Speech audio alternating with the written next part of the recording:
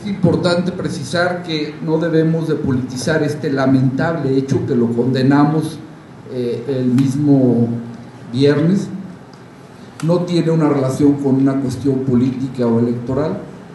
Y lo que tenemos a la fecha, sí, a partir de ese CES tenemos algunos acercamientos en donde nos están señalando eh, la inquietud o la idea de solicitar esta, esta protección tenemos a la fecha, eh, cuando, conmigo y documentos, tres candidatos que están solicitando, que están solicitando ya seguridad. Ya pasaron la etapa, la han solicitado a través del Instituto Estatal Electoral.